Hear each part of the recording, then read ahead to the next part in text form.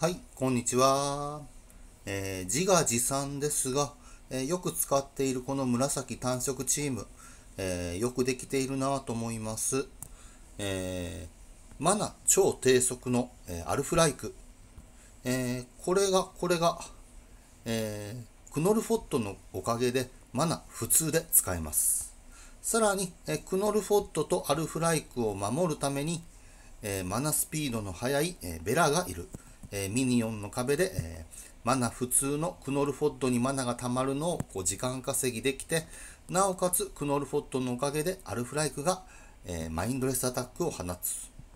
えーさらに何かと便利な、えーオニクスとリガルド。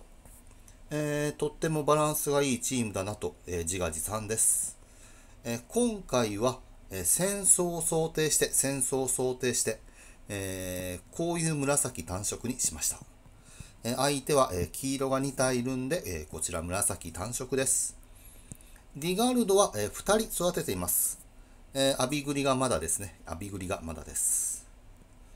えレピオタは、えここで止まってます。ここで止まってます。何かと使い勝手がいいのか、いいのか悪いのか、あまだまだ練習足りないなと思ってます。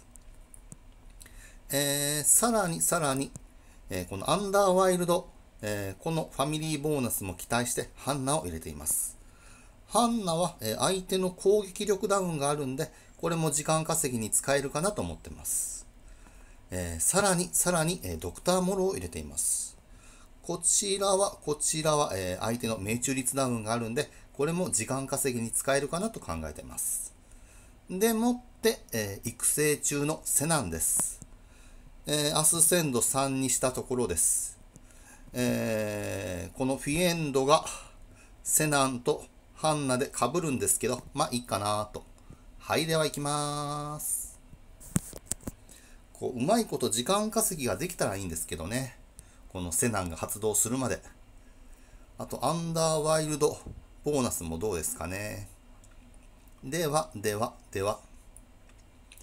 まあ、とりあえず、1手目なんで、えー、もうもう、あの、ここは、最初にビビカに一回スキル発動させましょう。えビビカに一旦スキル発動させましょう。まだダメージ与えてないんで、え？あ、めっちゃ盤面いいですね。めっちゃ盤面いいですね。それでは、えーハンナを、えーここにしましょうか？ここにしましょうか？こっちかな？こっちかな？こっちですかね。でもって、さらにさらにもろも当てて、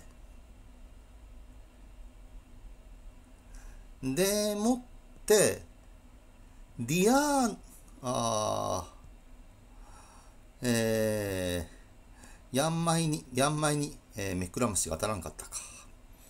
では、えー、ディアーナをゴースト化して、ゴースト化して、そうすると、えー、空打ちになるんで、またマナがめっちゃ溜まりまして、マナがめっちゃ溜まりまして。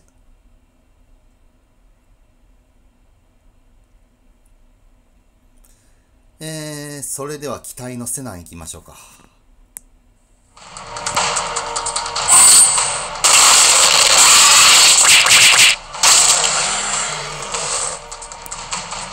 はい、いいですね、いいですね。では、さらに、えー、では、えー、ハンナをぶつけて、えー、さらに、モロをぶつけて、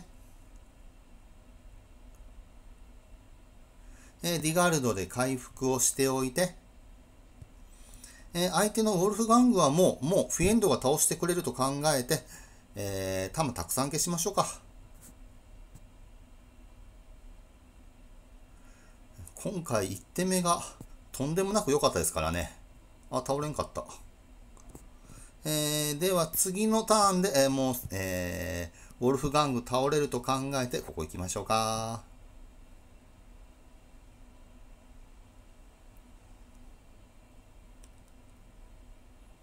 はい、いいですね、いいですね。えー、それでは、えー、ディアーナが帰ってくるのを待ちまして、